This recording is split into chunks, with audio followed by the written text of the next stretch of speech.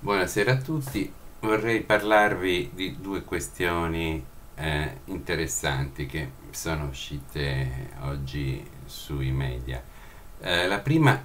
riguarda le Nazioni Unite e il famoso eh, voto per il Global Compact a Marrakesh, dove il governo italiano ha deciso giustamente di non partecipare. Perché dico questo? Perché secondo me dobbiamo uscire dalle Nazioni Unite. E perché dobbiamo uscire dalle Nazioni Unite? E quindi dalla Banca Mondiale, dal Fondo Monetario Internazionale, da tutte quelle agenzie che finiscono per influire pesantemente sulla sovranità del nostro Paese attraverso la normativa, come l'Agenzia Internazionale per l'Energia Atomica, che decide quante radiazioni nucleari possiamo, possiamo assorbire eh, quanti morti ci possono essere prima eh, che vengano intaccati gli interessi delle industrie del nucleare. Non per un motivo politico particolare di orientamento destra-sinistra, no. Dobbiamo, dobbiamo uscire dalle Nazioni Unite per un motivo costituzionale, perché l'articolo 11 della Costituzione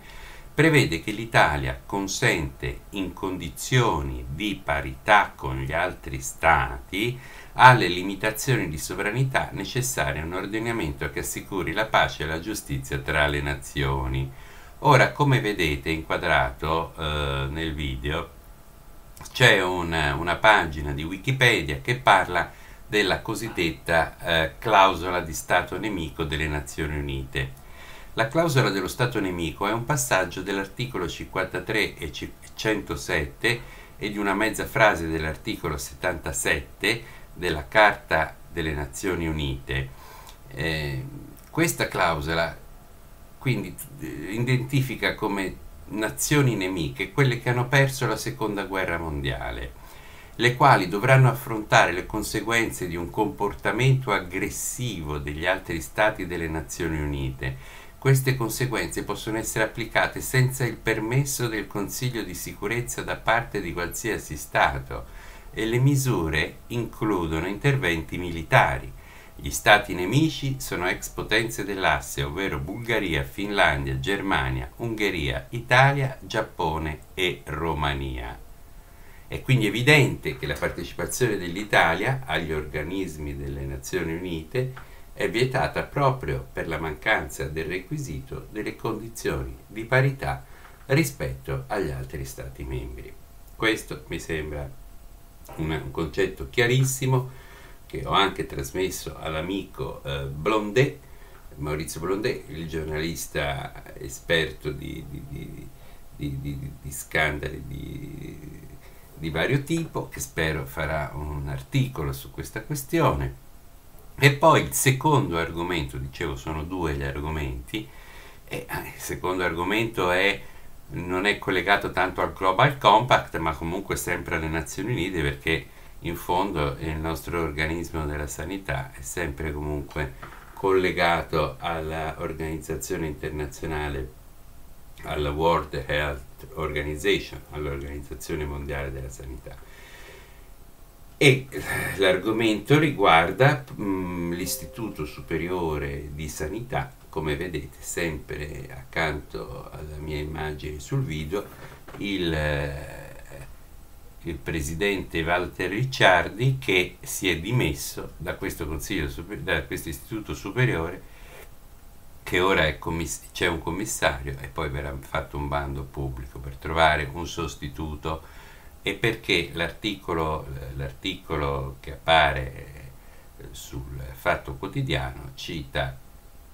appunto il, diciamo, il fatto delle Iene e del Codacons che avevano rivelato che questa persona aveva preso soldi dalle ditte farmaceutiche, in particolare dalla Pfizer e dalla GlaxoSmithKline. Eh, ma io penso che non si sia dimesso tanto per eh, lo scandalo a livello italiano quanto anche perché è apparso un articolo su una prestigiosa rivista medica che si chiama British Medical Journal e infatti lo vedete accanto c'è il pezzo sul British Medical Journal dove dice che un ufficiale superiore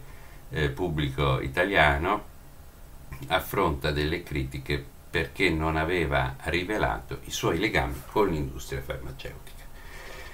Quindi questo, eh, questo discorso riguarda da vicino anche il problema di, di questa grande campagna sui vaccini,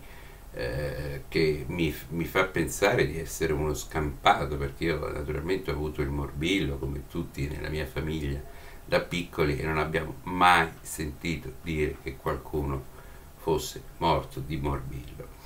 E invece oggi c'è una campagna terroristica, questo bisogna dirlo, che addirittura in altri paesi eh, obbliga alla vaccinazione perché altrimenti non danno neanche la patente, neanche il passaporto, i documenti, eccetera, eccetera. Certo che se le basi di questa campagna terroristica si scopre che sono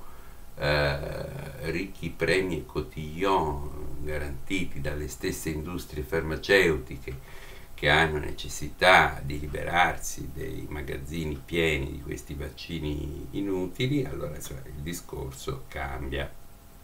Tra l'altro eh, non, ho il tempo di farvelo vedere, ma troverete in rete addirittura uno spot di propaganda sui vaccini fatto dalla nostra astronauta Samantha che fa particolarmente divertire pensando che gli astronauti sono 50 anni che ci raccontano di, di, di, essere stati sulla Luna e invece a quanto pare non ci sono mai stati, quindi se, ci, se il valore delle loro attestazioni equivale a questa campagna dove l'astronauta Samantha ci dice che il vaccino è come una tuta spaziale che ci garantisce contro le infezioni, insomma è tutto da ridere. Quindi concludo con la frase di Ennio Flaiano, la situazione è grave ma non è seria e vi saluto alla prossima puntata.